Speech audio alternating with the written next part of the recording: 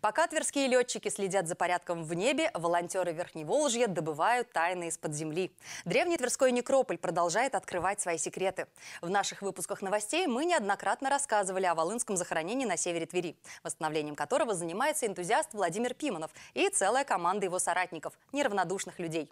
И вот во время очередной расчистки территории старинного кладбища волонтеры сделали новое открытие. Нашли могилу Ивана Александровича Арефьева, который был главой нашего города два столетия назад. На месте побывала Наталья Чекет.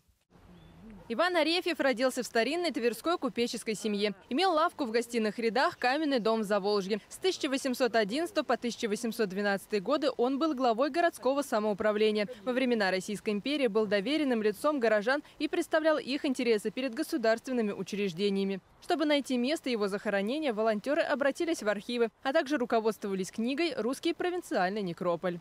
В те годы, учитывая то, что все-таки он знатного, именитого происхождения, а вот здесь, вот дальше туда проходила у нас Арефьевская слобода, вот, его и похоронили практически у входа. Здесь был вход в храм, а вот здесь, вот мы предполагаем, была такая небольшая часовня. В те годы знаменитых, кстати, людей укладывали, ставились голландские рельсы, памятник стоял на этой рельсе. Захоронения в те времена обычно закрывали плитой из мрамора или известняка. На этом захоронении уложена известняковая плита. Когда он умер, такой камень стоил приблизительно 2 рубля 50 копеек.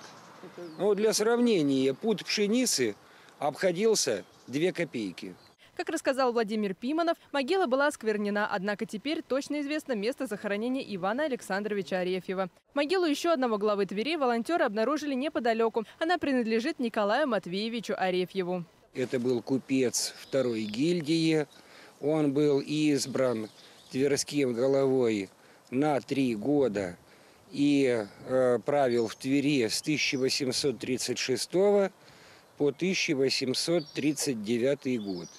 Да вот, собственно, вот эта вот территория кладбища, это и есть захоронение Арефьева. Здесь купцы первой и второй гильдии. Кроме почетных горожан, на Волынском кладбище хоронили крестьян, посадских людей, представителей мещанского сословия. Поэтому восстановление погоста, которым занимается Владимир Пиманов, энтузиасты и волонтеры важно в первую очередь с исторической точки зрения. Волынский мемориал, я его так назову, это уже не столько кладбище, сколько мемориал под открытым небом. Мы, конечно, должны придать ему достойный вид, так, чтобы он имел и туристическую привлекательность. Ну а самое главное, конечно, отдать дань памяти тем людям, знаменитым, великим людям, которые много сделали для нашего города, привести его в надлежащее состояние. И вот мы ежегодно здесь проводим работы, высадили деревья, занимаемся уборкой. Ну и, конечно, большое спасибо тем, кто занимается восстановлением тех надгробий, тех памятников.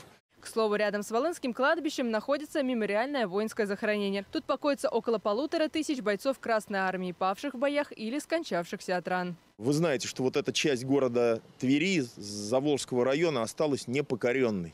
Немцы, они не смогли, здесь был рубеж, пройти за а, реку Соменко. И здесь не только вот старое кладбище, где 11 глав городов похоронено. Каждый неравнодушный тверичанин может присоединиться и внести свою посильную помощь в восстановление старинного некрополя. А мы продолжим знакомить вас с новыми страницами нашей истории.